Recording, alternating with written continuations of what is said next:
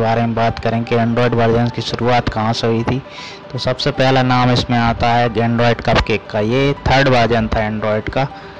और इसमें आप गूगल के मेजर ऑपरेटिंग सिस्टम को रिलीज़ को देख सकते हैं। इसमें एंड्रॉयड पावर्ड हैंडसेट जो कि 2009 से इसकी शुरुआत हुई थी, अब ये सपोर्ट नहीं करता है एंड्रॉयड मोबाइल्स में।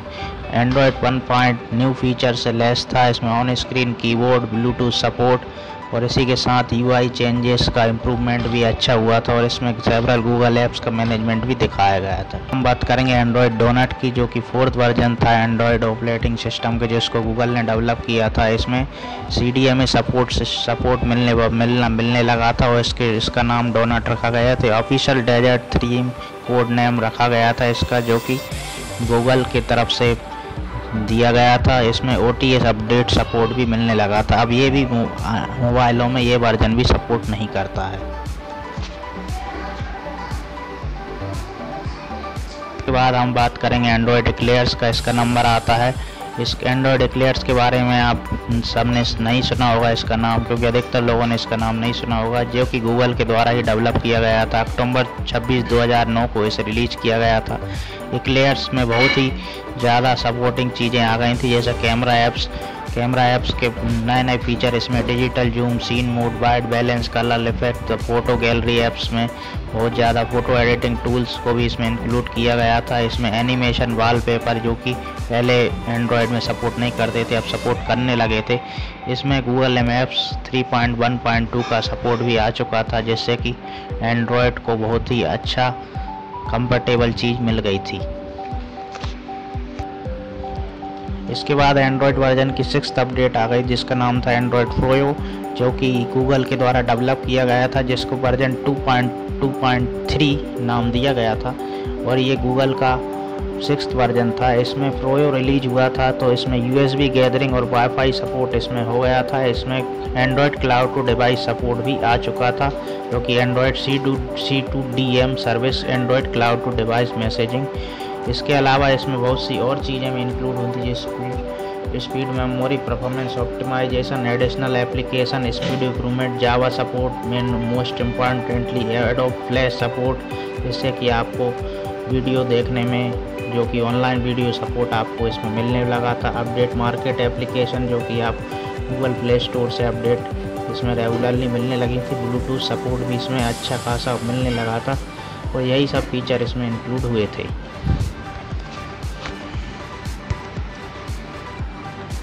इसके बाद आता है नंबर एंड्रॉयड गिंगरबर्ट का, जो कि सेवन्थ अपडेट थी एंड्रॉयड की गूगल के द्वारा, जो कि 2010 में रिलीज़ हुआ था। इसमें आपको एनएफसी सपोर्ट और एसआईपी सपोर्ट इसमें मिला था, जो कि बहुत ही फास्टर सिस्टम बना दिया गया था। फास्टर टू यूज़ इसमें पावर एफिशिएंट और सभी चीज़ें इसमें इंक्लूड की गई थी। कलर स्कीम जो कि ब्लैक बैकग्राउंड के साथ, जैसे कि विविडनेस कॉन्ट्रास्ट और नोटिफिकेशन बार बहुत ईजिली आप देख सकते थे। इसमें काफ़ी ज़्यादा इम्प्रूवमेंट ईजी नेविगेशन और सिस्टम कंट्रोल जो कि बहुत ही ज़रूर। अब इसके बाद नाम आता है एंड्रॉयड हनी कॉम का, जो कि एट्थ वर्जन था। गूगल की तरफ़ से डेवलप किया गया था 2011 में, जो स्पेशली बनाया गया था टैबलेट के लिए, क्योंकि इसमें लार्जर स्क्रीन साइज़ सपोर्ट था, जो टैबलेट के लिए बहुत ही ज़रूरी होता है। इसमें गैलरी ऐप्स में, अब आप एल्बम में कोई भी फ़ोटो देखते हैंगे तो उसको फुल स्क्रीन मोड में थंबिल के साथ, और आप इसको आसानी से इसके कलेक्शन को आप देख सकते हैं। बहुत सारे ऐप्स में टैब इंक्लूड की गई थी, जो कि बहुत ही ज़रूरी होती है मल्टीटास्किंग के लिए। रिसेंट ऐप्स का भी इसमें एक ऑप्शन दिया गया था, जो कि मल्टीटास्किंग के लिए ज़रूरी था। अब इसके बाद नंबर आता है एंड्रॉयड आइसक्रीम सैंडविच जो कि गूगल के द्वारा डेवलप किया गया था, उसे रिलीज़ किया गया था अक्टूबर 19 2011 को, जो कि सिंप्लीफाई और मॉडर्नाइज किया गया था एंड्रॉयड एक्सपीरियंस को। जो कि ह्यूमन इंटरफ्रेंस गाइडलाइंस के अनुसार इसका कोड नेम हेलो था और इसको इंक्लूड किया गया था, जिसमें एनएफसी सिस्टम सपोर्ट इसमें दिया गया था। टेक्नोलॉजी के मामले में यह बहुत ही आगे था। इसमें updated web browser, contact manager, social networking integration का इसमें सपोर्ट दिया गया था। इसमें कैमरा को आप लॉक स्क्रीन से ही यूज़ कर सकते थे। इसमें म्यूज़िक प्लेबैक सपोर्ट था, जिसको आप लॉक स्क्रीन से ही म्यूज़िक प्लेबैक में आप कोई सा भी ट्रैक चेंज कर सकते थे। इसमें वॉइस मेल सपोर्ट भी दिया गया था। और sex recognition for device unlocking जिसको आप फेस अनलॉक जो कि आजकल बहुत ज़्यादा यूज़ हो गया था, उसको इंट्रोड्यूस एक्चुअली इसी ऑपरेटिंग सिस्टम में यूज़ किया गया था।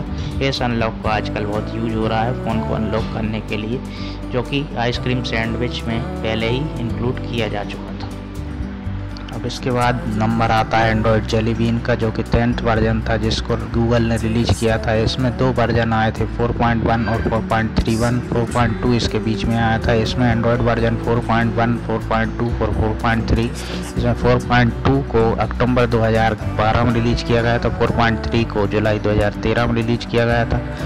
जेलीबीन के जो वर्जन थे तो जुलाई 2018 में ये सपोर्ट करना इसने बंद कर दिया, क्योंकि गूगल प्ले ऐप्स इसमें आप सपोर्ट नहीं करती हैं।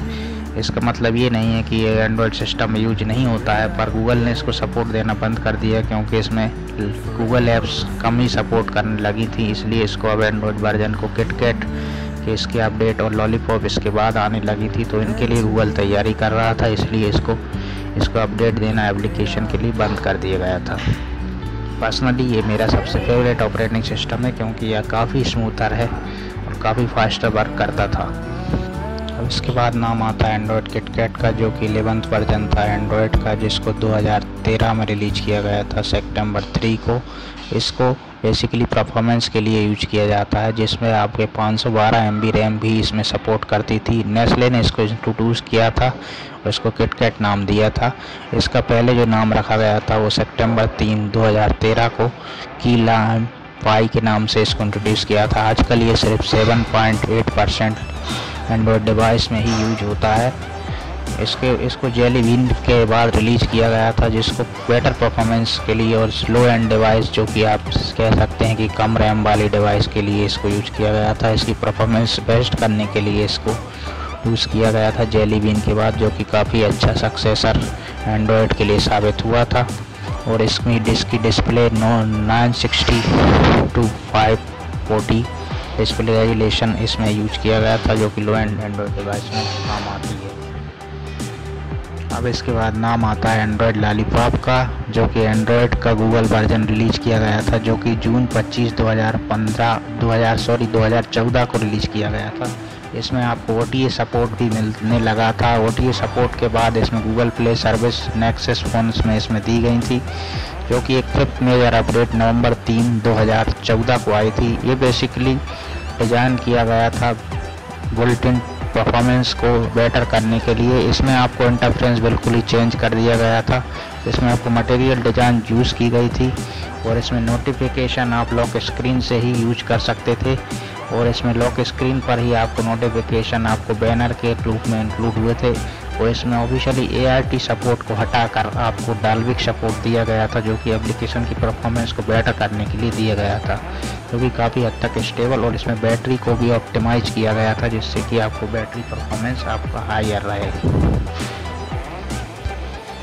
अब इसके बाद नाम आता है मार्श मेलो का, जिसको एंड्रॉयड एम के नाम से भी जाना जाता है, जो कि थर्टीन वर्जन है एंड्रॉयड का, जिसका पहले बेटा वर्जन रिलीज़ किया गया था, जो कि मई अट्ठाईस 2015 को, इसके बाद इसका ऑफिशियली वर्जन अक्टूबर 5 2015 को। सबसे पहले ये डिवाइस अपडेट नेक्सेस डिवाइस में आई थी गूगल की तरफ़ से। मार्च मेलो में फोकस किया गया था यूज़र एक्सपीरियंस को और भी स्मूथर बनाने के लिए। इसमें आपको लॉलीपॉप के जो भी फीचर थे, उनको और ज़्यादा फास्टर किया गया था। इसमें आपको सभी नेविगेशन बार सभी आपको इसमें मिलने वाले थे। सिस्टम इंटरफ्रेंस इसमें बहुत ही अच्छा कर दिया गया था। और इसको फिजिकली बहुत ही सपोर्टेड किया गया था। इसमें फिंगरप्रिंट का इंट्रोड्यूस किया गया था, जो कि पहले कभी किसी एंड्रॉयड मोबाइल में नहीं मिलता था। इसमें माइक्रो एच कार्ड सपोर्ट जो कि एप्लीकेशन के डाटा को इसमें आप रख सकते थे माइक्रो एच कार्ड में। इंटरनल चेंजेस भी काफ़ी किए गए थे। और अभी तक गूगल के अनुसार सितंबर 2018 तक इक्कीस दशमलव छः परसेंट डिवाइस में एंड्रॉयड मार्च मेलो यूज़ हो रहा है।